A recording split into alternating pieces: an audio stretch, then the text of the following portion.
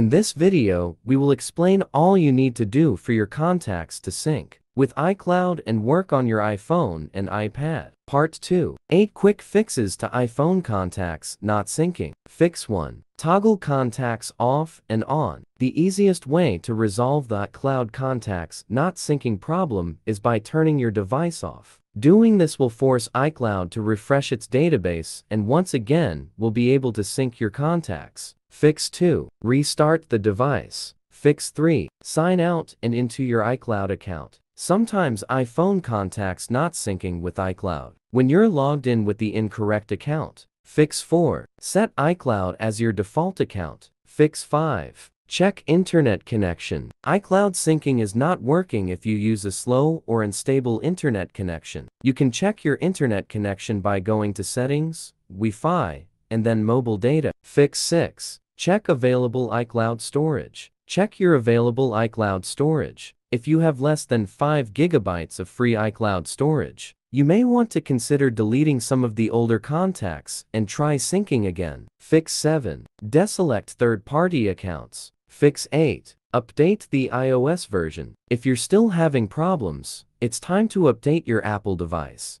For up-to-date information on the most recent version of iOS and iCloud, go to this Apple support page. Part 3. Alternative solution to backup iPhone Contacts Assistant for iOS. Regarding backing up iPhone contacts, there is a reliable app, Mobikin Assistant for iOS. With it, you can choose all the contacts you want to keep safe and sync them with Google, Outlook, and other cloud services. Steps to back up iPhone contacts with Mobikin Assistant for iOS. Step 1.